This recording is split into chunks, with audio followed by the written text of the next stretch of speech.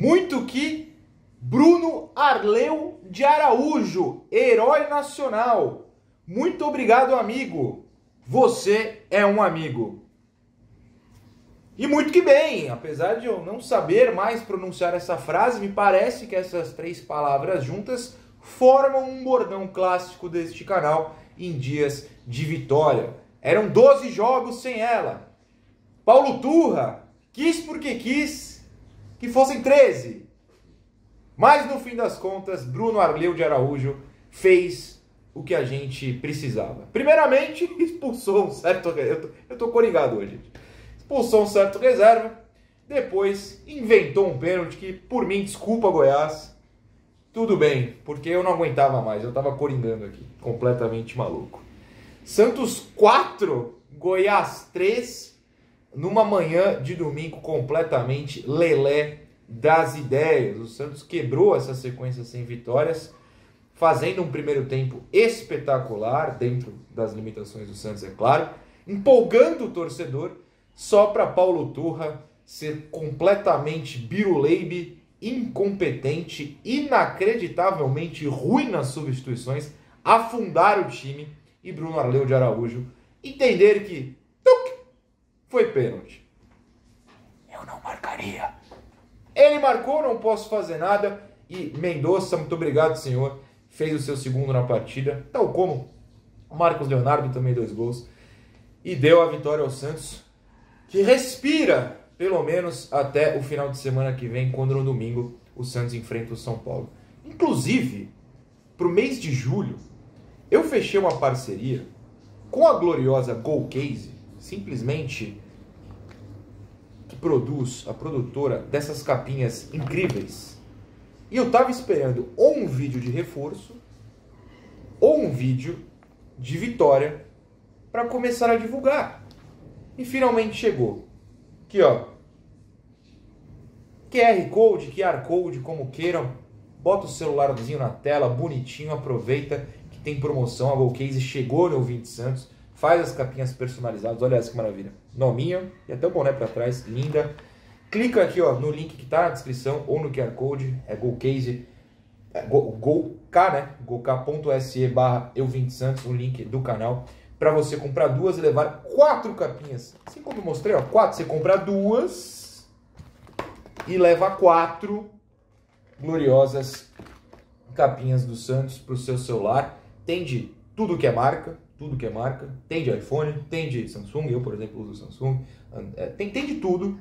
Entra lá, procura. E finalmente uma vitória para a gente começar essa parceria. É, lembrando que é oficial, é licenciada pelo Santos, está tudo certo, tudo bonitinho, produto de qualidade, inclusive, ó. Meu celular caiu umas três vezes essa semana desde que minha capinha chegou e tá vivíssimo. Ela é super útil, super bem feita.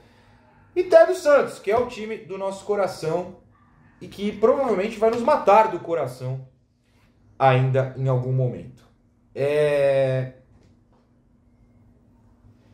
Cara, é muito difícil começar esse vídeo. Muito difícil o meio desse vídeo. Vai ser difícil encerrar esse vídeo. Então eu vou começar com os pontos positivos, ou alguns que eu enxerguei. Primeiro, quebrar este inferno que era não vencer foi muito importante.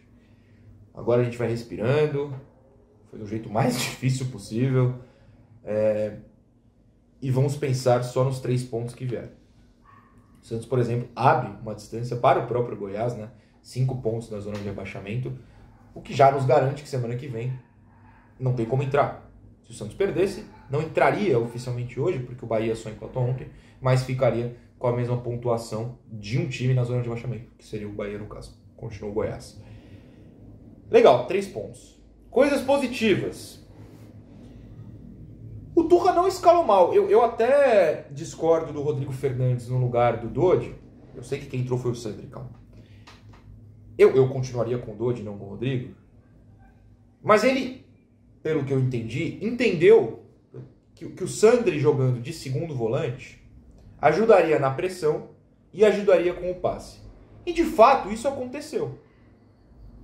O Sandri teve um bom aproveitamento de passes para frente, né, que é são os que me interessam, sempre buscando principalmente os pontas, que a gente cantou aqui. O Luiz Fernando Corman, quando veio, né, torcedor do Atlético Paranaense, é, é, explicar o que ele via do Paulo Turra, ele, ele falou pra gente, ó, vai ter muito lançamento. A gente pode não gostar, mas o fato é que teve. E o Sandro achou esses passes para os pontos. E no primeiro gol, que o Santos sai do sufoco, o Goiás tinha a bola antes do, do gol do Santos, né? O torcedor já estava desesperado. É o Sandro que dá o bote, rouba a bola, o Lucas Lima dá o passe para o Marcos Leonardo fazer o primeiro abrir o placar. Então, isso deu certo. Eu nem tô, tô discordando da entrada do Sandro. O Kevson, é, você poderia pensar no, no, no João Lucas na direita e no Inocêncio na esquerda, ou o João Lucas em campo, você pode ficar bravo, mas aí você pensaria no Inocêncio na direita e o Kevson na esquerda. Mas honestamente, querendo ou não, por mais que nenhuma partida tenha sido espetacular, o Kevson não foi mal pela esquerda, e eu sei que ele cometeu pênalti, foi muito pênalti, daqui a pouco a gente fala mais sobre isso. E o João Lucas deu uma assistência. É, é tiveram seus momentos também. Então eu acho que a escalação do, do Paulo Turra não foi ruim. O que ele faz depois é um crime contra o bom senso, mas daqui a pouco a gente chega lá. O Sandri, para mim, foi muito bem no meio. Então já justifica a escalação. Outro ponto positivo tem a ver com o Sandri. O Santos fazer gol na marcação pressão é algo que não estava acontecendo há muito tempo. Rolou hoje. Ótimo. O terceiro gol é outra coisa que o time do, do Odair Helmut tinha parado de conseguir, que era gol no contra-ataque. Né? Você vê, além dos dois gols, o Marcos Leonardo saindo para dar assistência a lá David contra o Bahia, né? que é o 3 a 0 no, no próprio brasileiro. Tem essa jogada. O David sai e dá para o Mendonça sair nas costas das águas. Hoje foi o Marcos, mostrando que ele sabe fazer isso. Foi legal também. O Santos achou é, espaço para o contra-ataque e, na minha opinião, até desperdiçou outras oportunidades. É que essa foi a jogada perfeita, mas teve a chance de contra-ataque em outros momentos. Cara, atuações individuais, eu vou falar do jogador jogador, mas acho que o Marcos foi muito bem, o Mendonça acordou para a vida na hora de uma necessidade, o Sandri foi muito bem, eu acho que os laterais não foram mal.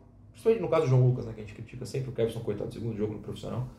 Acho que deram uma segurada boa. E o Lucas Lima também, eu tinha citado o Lucas, acho que não. Fez um primeiro tempo bem decente com o time vencer. Acho que não ter torcida, a gente poderia falar, em caso de uma vitória mais tranquila, que teria ajudado. É um time que, que, que não lida bem com pressão, essa é a realidade. Não que eu queira a Vila vazia, não é isso, ou jogar longe da Vila sem torcida, não é isso. Mas é um time que claramente na mínima pressão, afunda. No segundo tempo, teve uma mínima pressão, causada pelo técnico. Afundou.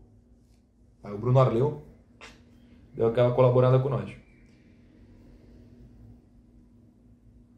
E é isso. Eu acho que o principal é respirar para essa próxima semana. Não foi um time focado em contra-ataque, não foi um time focado em lançamento, a gente ainda não descobriu qual é o foco desse time. Mas foram quatro gols em jogadas diferentes. Né? Teve gol de contra-ataque, gol de cruzamento, gol de marcação-pressão e um gol de pênalti foi num, num escanteio. Falta, não lembro agora. Enfim. Gols em situações diferentes. Então não dá para analisar o que o Turra especificamente quis. Eu cheguei a anotar algumas coisas no meu caderninho, como dificuldade na saída de bola, alguns lançamentos um pouco exagerados, mas com a bola no chão, o Santos até conseguiu criar. Claro, ponderando que é contra o Goiás, que é veio de uma derrota para o Coritiba. Se você perde para o Coritiba, com todo respeito, você é muito ruim. Agora, ó, demorei nove minutos, nove minutos, para falar uma coisa que para mim é muito importante. Se acaba 3 a 3 ou na pior situação possível, o Santos toma o quarto e perde o jogo, eu ia abrir o vídeo da seguinte maneira: não ia ter muito que nada, simplesmente ia ser. Parabéns a quem contratou os jogadores do Água Santa. Parabéns a quem não dispensou o Vinícius Balheiro. Parabéns a quem contratou um técnico porque ouviu escolar e aprovar. Parabéns Falcão. Parabéns Rueda. O que o Santos, o que Paulo Turra, perdão, fez no segundo tempo eu até escrevi na rede social, mantenho minha palavra, se o jogo acaba 3 a 3 é fora turno. Era para demitir o turno. Vamos falar o português claro. Tem 9 minutos de, de, de, vídeo tranquilo. Vamos falar o português claro agora. Era para demitir o turno. Ele tirou o Marcos Leonardo Que você pode até falar, pô, tava cansado, sentiu lesão, bota o David. Não, não, não. Ele tirou o Marcos Leonardo para botar o Bruno Mezenga. Sendo que o David aqueceu o primeiro tempo inteiro. É um negócio inexplicável. É quando o Marcos já estava sentindo. Ele tirou o Lucas Lima, que de novo, tá no top 5 jogadores da partida. Você pode até falar top 3, junto ao próximo que eu vou falar o Marcos. E ele tirou o Sandri. Pra ficar bem claro o que eu quero dizer, eu vou, eu vou até exagerar. Ele tirou os três melhores jogadores do time na partida para colocar o bonde do Água Santa e o Balieiro em pleno julho de 2023. Pô, o cara tá lelé das ideias. Você tá fazendo 3 a 1 você volta no intervalo, você para de atacar, já é errado. Mas beleza, vamos acreditar que o contra-ataque, o time não encaixou. Não, não, não, não, não. Vamos recuar mais ainda. Ele tirou um centroavante que tem um passe, como provou no contra-ataque do gol do, do Mendonça, no gol de bola rolando do Mendonça, e que tinha feito dois gols. Para botar um cara que joga parado, lento, e que não tem domínio, não tem passe. Tem a cabeçada e olha lá. Ele tirou o Lucas Lima, do qual eu não sou foi, vocês sabem, para botar o Luan Dias. Todo respeito ao Luan Dias, o Luan Dias não, não tem que pisar no Santos, gente. Não tem. E ele tirou o Sandri, sendo que o Rodrigo já estava amarelado. Veja, eu, por mim, não tinha que tirar nenhum nem outro. No máximo para colocar o Dodio, que ele não fez. Mas você tem um volante que é completamente maluco das ideias, bate até na mãe, já tem amarelo, fica em campo, e o volante que fez lance de gol, tem um passe bom, ele tira para colocar o balieiro.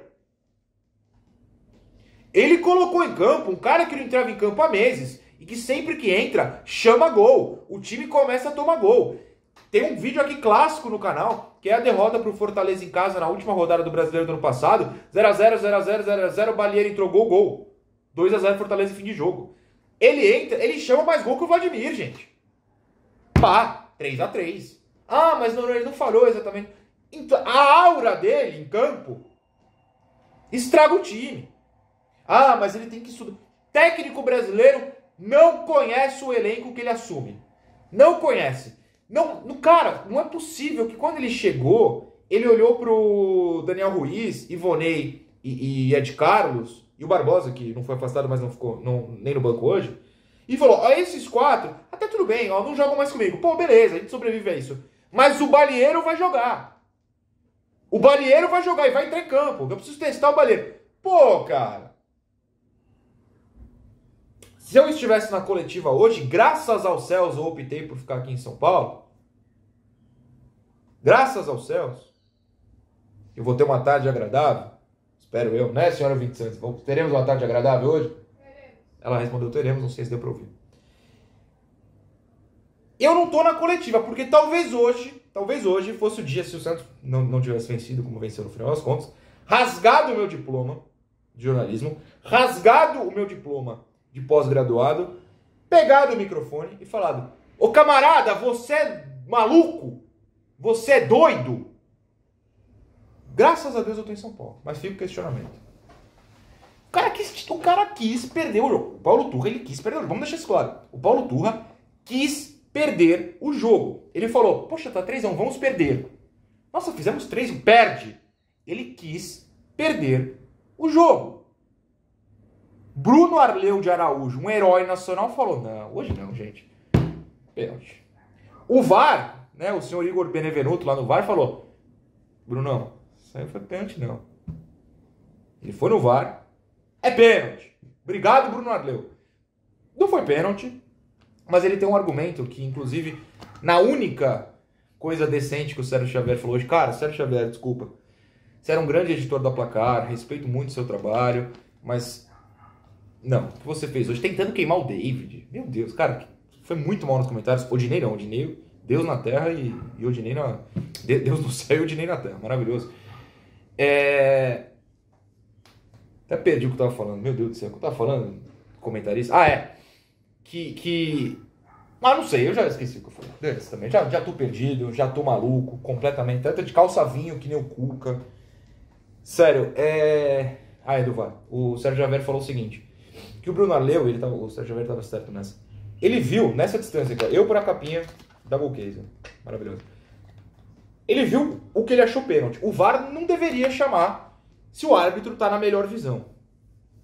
E eu, na conversa né, do, do Arleu com o, com o VAR, tive essa impressão dele estar tá argumentando, cara, eu tô perto.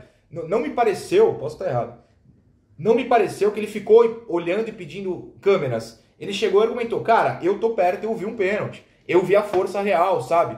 Então o Bruno Arleu tem um argumento. Eu daria o pênalti? Sim, porque eu sou Santista e eu tentaria roubar pro Santos. Mas como eu não sou juiz, o problema não é meu. Obrigado, Bruno Arleu. Tamo junto. Jogador a jogador ainda. Eu devo ter esquecido uns 38 tópicos, gente. Eu tô completamente maluco. Esse jogo fez mal pra gente. Fez mal. Esse jogo me deixou doido. Doido, doidaço. É, João Paulo falhou nos dois gols, né? Em dois dos gols. No pênalti não, mas ele falhou de novo num gol de bola longa, bola de grande distância, enfim, longa distância. Chute fora da área, foi muito mal nessa bola. Me parece até que ele dá uma escorregada, mas é falha. Tem que estar em campo, você tem que pegar. E no gol de cabeça, de novo, você pode até argumentar que ele não deveria ter saído. Muita gente vai argumentar que ele deveria, que ele não sai nunca mesmo. Mas o canto aberto não foi bem de novo João Paulo, uma pena, uma pena. A fase de João Paulo não é boa. E graças a Deus que o Bruno Abreu, nosso parceiro, não deu o segundo amarelo, porque né, o suposto goleiro reserva conseguiu a proeza de ter expulso. É, o João Lucas. João Lucas eu vou valorizar a assistência para o Marcos, tá? E vou falar que assim, a única coisa que eu quis invadir a tela da minha TV e pular no João Lucas para pegar o peso, tô brincando. Foi o já com 4 a 3 que ele rouba a bola, leva para frente, contra-ataque e eu leva para bandeira de escanteio, leva para bandeira de escanteio, dá um passe rasteiro pro meio, pro Mezengo, onde não quem tava, e o Lucas Draga, sei lá, e a bola vai pro pé do zagueiro do Goiás e o Goiás tinha um contra-ataque. Faltou a noção da situação, mano, achei a partida horrorosa. Kevson cometeu um pênalti bem infantil, mas tem batido com o que eu tenho comentado aqui. O meu medo com o Kevson não é o talento, não é a qualidade, não é o entendimento de jogo. É que ele no sub-20 ganha na velocidade e na força, porque ele tem aí. É, é forte, é veloz, quase 20 anos, ou 20 anos, enfim. E ganha dos meninos mais novos. No profissional, a transição pode ser difícil. E hoje foi um pouco na defesa. Tomou uma bolinha nas costas no segundo tempo, cometeu um pênalti porque foi, foi infantil, em vez de proteger, tentou chutar a perna do cara do Goiás, que é mais, mais veloz, né? A velocidade de reação de ação do jogador de Série A é mais veloz que o sub-20. Ele cometeu esse erro. Mas com a bola no pé, teve seus momentos de consciência. Acho que a transição vai ser dolorosa, como foi hoje. Ele fez um pênalti hoje. Mas que o talento tá ali. Vamos, vamos lá, até porque não tem outro, vai ter que jogar. A zaga, péssima. O Santos perdeu todas as bolas aéreas. O Goiás era cabeçado. Só saiu um gol de bola aérea por milagre. O Goiás ganhou todas as cabeçadas. Todas. Eu sei que o Joaquim por baixo não foi mal. O Messias, nas suas rebatidas, completamente sem sentido. Até teve um bloqueio de chute ou outro. No alto, o Santos foi muito mal na defesa. Muito mal. É preocupante. Porque contra o Cuiabá já tinha sido. O Daverson fez gol. Hoje, mais um. O Paulo Turra tem basicamente dois jogos de Série A com o Santos. Nos dois, o Santos tomou sufoco na bola aérea. Rodrigo Fernandes, completamente maluco das ideias de novo. Mas não acho, perdão, que tenha ido mal Sandri, acho que foi muito bem. Consciência nos passes e ajudando na marcação pressão. Eu, Felipe Noronha, voltaria com Sandri Dodi, a dupla do Paulista. Eu tiraria o Rodrigo. Mas o Paulo Turra claramente gosta de retrancar, retrancar, retrancar e defesa e pegar, é, é, é, volante de pegada e vai ficar com o Rodrigo. Até brinquei no grupo dos membros. Se fosse, se o Alisson não tivesse lesionado, inclusive, espero que esteja bem, Alisson, a gente podia se preparar psicologicamente para um jogo com Rodrigo e Alisson, viu? É que não vai acontecer. Lucas Lima, acho que fez uma partida no primeiro tempo bastante digna e é inexplicável ele ter saído no segundo tempo. Eu, que não gosto do Lucas Lima, tô falando que pra mim foi inexplicável ele ter saído pra entrar do Landins. Inexplicável. Pelo menos foi pro Lucas Barbosa. Aí eu tinha quebrado a TV aqui, ou pulado da minha sacada. É... Lucas Braga, achei muito abaixo de novo. E é o que eu sempre falo, de ação tem as consequências. Nos melhores momentos a gente vê a consequência, que é o que? O chute perigoso. Mas da onde surgiu esse chute perigoso? Mais uma vez, o Lucas Braga escolhe errado, corre para cima de três zagueiros, se joga no chão, fica no chão, o Goiás pega a bola, puf, gol dos caras. Isso aconteceu. É só pegar a jogada em sequência. O Lucas toma muita decisão errada. Muita decisão errada. Ou só decisão errada. Achei muito fraco a partida do Lucas, uma pena. Mendonça, obrigado senhor, glória a Deus, você bateu o pênalti bem, golaço de pênalti, herói, nacional, viva a pomada e tudo mais, tamo junto. Marcos Leonardo, se venderem por 12 milhões, o cara que, de novo, tá salvando o Santos da desgraça, assim como em 2021, meteu dois gols hoje, assistência hoje, tem que prender todo mundo dentro do clube Santos Futebol Clube. 12 milhões de euros é um crime contra o bom senso. É o que eu tenho a dizer sobre a atuação do Marcos. Agora, Mezenga, Luan Dias, Balieiro, ô Paulo Turra, sorte que você venceu, viu? Beijo a nós, tchau.